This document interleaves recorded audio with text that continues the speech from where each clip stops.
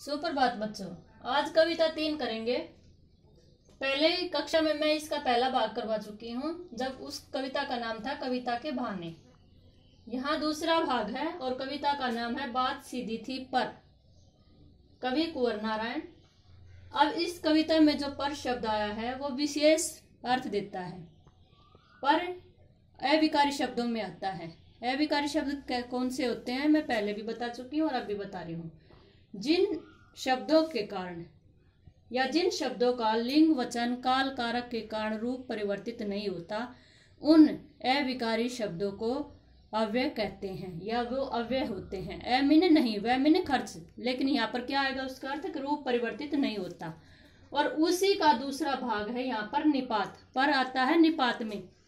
विकारी, अविकारी शब्दों के पाँच भाग होते हैं, जिसमें पहला है रीतिवाचक क्रिया विशेषण, संबंध बोधक विस्मयादि बोधक निपात। तो इसी में निपात का जो प्रयोग किया गया है, उसको कैसे परिभाषित करना है? जिन अविकारी शब्दों के प्रयोग से। वाक्य में विशेष बल का प्रयोग किया जाता है, उन अविकारी शब्दों को निपात कहते हैं। तो यहाँ पर जो पर शब्द आएगा, वो विशेष बल देगा। और उसी के आधार पर इस कविता का जो अर्थ है, वह स्पष्ट होता है। अब यहाँ पर इस कविता में मुहावरे या बिंब योजना का प्रयोग किया है। तो मैं आपको यहाँ बिंब भी स्पष्ट कर देती हूँ कि भाई, जब कविता को या काव्य रचना को पढ़ते समय हमारी आँखों के सामने कोई बात सजीव या प्रत्यक्ष हो उठती है, उसे बिंब कहते हैं। इस कविता में बिंब का प्रयोग किया गया है और वो बिंब इस प्रकार से है। पहला है, बात की चूड़ी मर जाना, जिसका अर्थ है बात का प्रभावहीन हो जाना। या बात का अर्थहीन हो जाना। दूसरा है, बात की पेच खोलना, अर्थात बात का, बात में कसावट का न होना या बात का अर्थहीन होना। तीसरा है, बात का बन जाना, अर्थात सही बात को प्राप्त करना या सही बात का बन जाना। चौथा है भाई, पेच को कील की तरह ठोक देना, बात को स्पष्ट करना।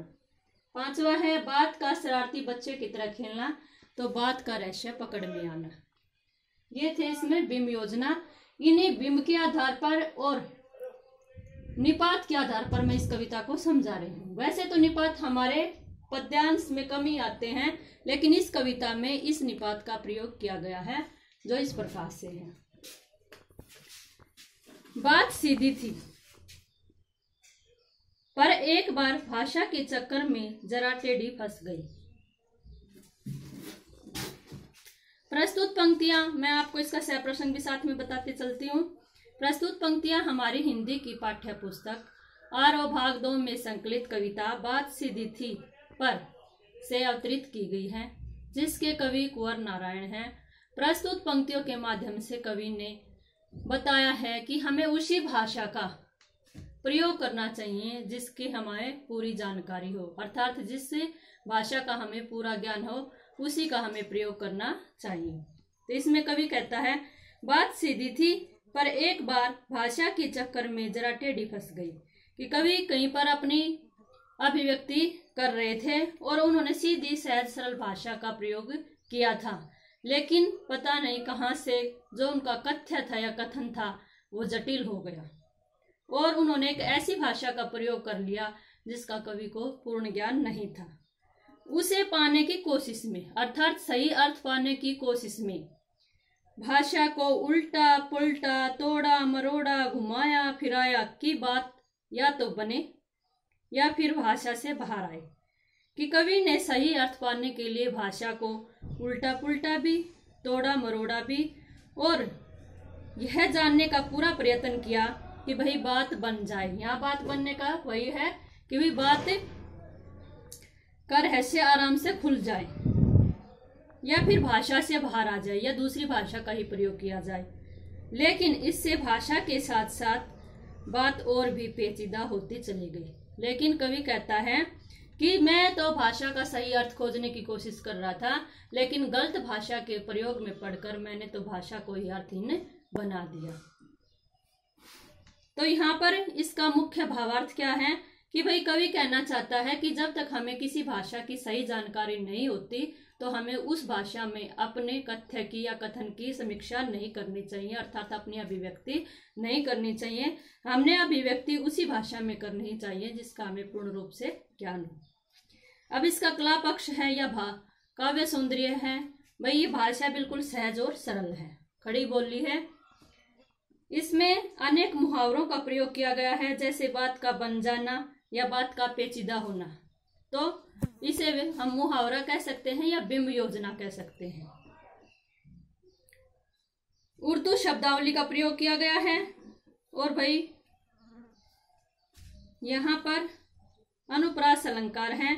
तोड़ा, मरोड़ा इस तरह के जो शब्द हैं, ये अनुप्रास अलंकार के हैं। और लेकिन इससे भाषा के साथ साथ यहाँ पुनरुक्ति प्रकाश अलंकार का भी प्रयोग किया गया है। प्रसाद गुण है, क्योंकि भाषा हमें तुरंत समझ में आ जाती है और वही शांत रस है। तो सहज सरल भाषा है तो वहाँ पर प्रसाद गुण और शांत रस होता है। सारी मुश्किल को धैर्य से समझे बिना, कवि कहता है कि मैंने सहनशीलता या सहजता का प्रयोग किए बिना और कठिनता को समझे बिना, मैं पेज को खोलने के बजाय, कि भाई मैं बात के रहस्य को खोलने की बजाय, उसे बेहतर तरह कसता चला गया, उसे और अधिक कसता चला गया। अर्थात बात का पूर्ण ज्ञान नहीं था मुझे, और उसको मैं एक पेज की तरह तो यहाँ पेज आ गया। जब इस पेज का प्रयोग हम कविता के अंदर करते हैं तो हमें जब मशीनरी में जितने भी पेज होते हैं, उनकी भावना, उनका बिंब हमारी आँखों के सामने आ जाता है। इसलिए यहाँ पर चाक्षुक बिंब का प्रयोग किया है।